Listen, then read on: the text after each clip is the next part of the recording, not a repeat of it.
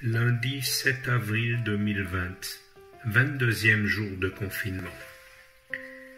Le rayon maximum d'un kilomètre autorisé pour faire un peu d'exercice physique me donne accès à un pré en jachère. Paysage assez monotone à cette époque de l'année.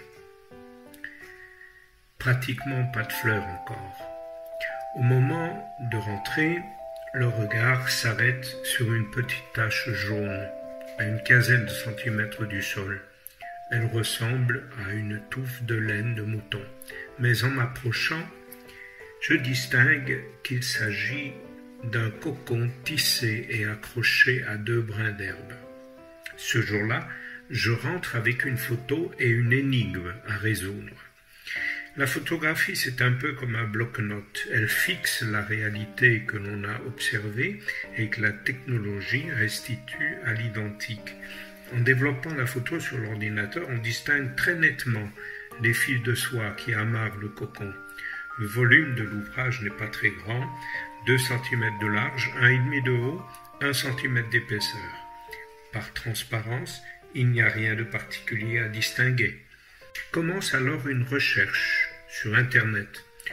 Une requête simple, cocon jaune, et plus de 700 000 résultats proposés.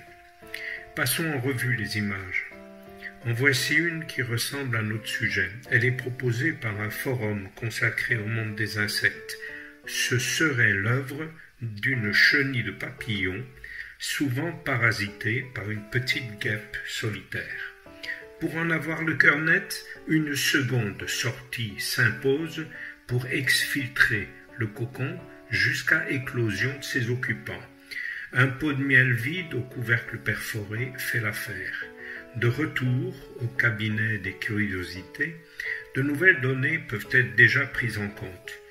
Sous les couches extérieures de soie tissée, on distingue plusieurs petites taches sombres réparties dans l'enveloppe protectrice, privilégiant la piste du parasitoïde nous avons affaire à une petite guêpe solitaire de la famille des Braconidae et du genre Microgastronae.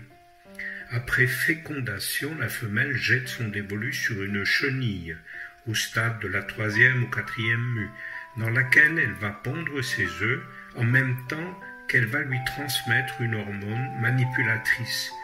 La chenille reste vivante jusqu'à l'éclosion des larves. Elle tisse même un cocon de protection autour des nymphes du parasitoïde et les protège d'éventuels prédateurs. Elle meurt par la suite.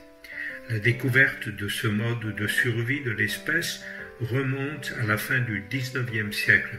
Depuis, on a entrepris d'utiliser les hyménoptères dans la lutte biologique. Chaque espèce a un hôte particulier, chenilles, mouches à fruits, guêpes du bois, larves de coléoptères ou pucerons.